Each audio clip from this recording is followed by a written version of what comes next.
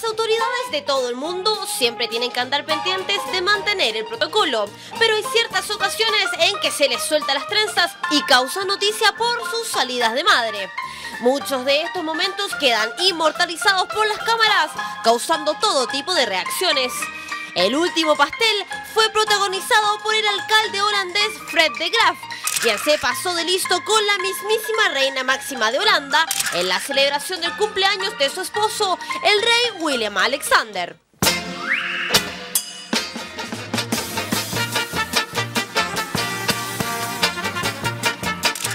A ver, ¿dónde va esa manito? Bien fresco que nos salió este digno, ¿cree? Feo, feo porque en el fondo ahí uno dice que son las personas que nos están como representando de alguna manera, uno de repente votó por, por ellos y que en el fondo estén dedicando el tiempo de trabajo para, estar en un momento de distracción. Eh, uno lo puede malinterpretar y pensar que no está cumpliendo bien su pega, pero, pero si le toca la nalga así es porque la otra quiere, porque a mí nadie me toca si yo no, eh, si yo no le pongo así un poquito el cachete no, no pasan de mi metro cuadrado. Así. Bueno, ahí sí hay una falta de respeto, obvio, por lo menos le podría haber agarrado el poto en un lugar más privado. Pero bueno, hay que ver la confianza que tienen entre ellos. No conozco mucho bien la, situación como fue, pero sí fue noticia. Ayer escuché por todos lados que le habían tocado el poto a la reina. Pero algo que causó curiosidad entre la multitud es que la reina máxima no tuvo reacción alguna. ¿Habrá querido mantener bajo el perfil ante la situación? O quizás es una ilusión óptica de las cámaras que captaron al alcalde, quien en realidad no le tocó el trasero. Y es que él mismo mencionó a los medios después de esta situación que nunca tocó a la señora del rey holandés de esa forma y que fue un malentendido por imágenes que no le favorecieron. Juzgue usted. Pero bueno, en nuestro país las autoridades no se salvan tampoco de episodios Trágame Tierra, sino pregúntenle a la diputada Andrea Molina y a Patricio Melero, al parecer amantes del cine.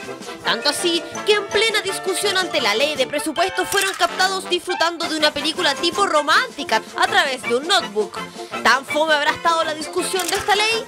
Sin embargo, el presidente de la UDI quiso aclarar mejor la situación. Un tiempo para ir a comer, en ese tiempo vi que en la televisión eh, estaban dando en un canal de cable una película y bueno, bajé después a la sala, comento esto y me baja la curiosidad por saber qué película es, pongo en Google Richard Gere, me distraje, efectivamente no más de dos minutos la sesión, vi la sinopsis y después eh, eh, la apagué. Yo creo que lo que más demuestra ese tipo de cosas, como lo de Andrea Molina cambiando los papelitos en los asientos, es que los políticos son humanos, son humanos. Así que también pueden cometer errores. Al parecer ellos son muy humanos porque la pasan... Pero el presidente checo sí que se pasó. Su mamá nunca le enseñó cuando chiquitito a no llevarse lo que no es suyo y es que un video lo pilló chanchito hurtando directamente un bolígrafo durante una conferencia de prensa en nuestro país. Mientras Sebastián Piñera le da la bienvenida a Chile, el mandatario checo examina cuidadosamente el lápiz y miren, se lo mete al bolsillo rápidamente. Presidente de la República de Chile, señor Sebastián Piñera Echenique. Muy buenos días. Quiero en primer lugar dar una cordial y cariñosa bienvenida al presidente Václav Klaus y a la delegación de amigos de la República Checa que nos visita.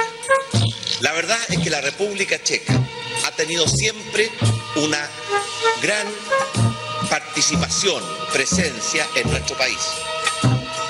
Porque después de percatarse de que lo grabaron en esta acción, dijo que era de lo más normal llevarse lápices en los eventos y simplemente pensó que era un regalo. Bien, padre el presente en todo caso.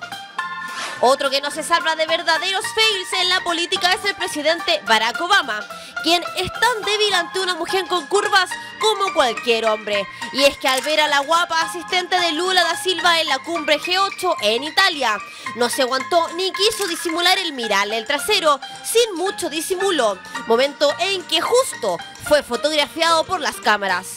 Fíjese en la cara de Nicolás Sarkozy, quien se percata de esta situación y no puede evitar reírse. Pero otro momento memorable en donde se mandó una buena desubicada al presidente de Estados Unidos fue cuando se sacó una selfie con sus amigos de la política en pleno homenaje al fallecido Nelson Mandela. Mientras la primera dama del país del norte no puede ocultar su indignación ante el acto tan Pokémon.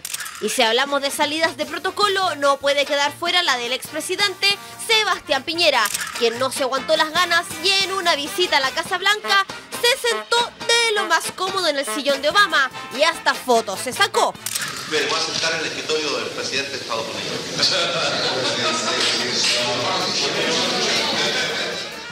Y es que bueno, el exmandatario siempre dio de qué hablar desde sus inicios en el gobierno.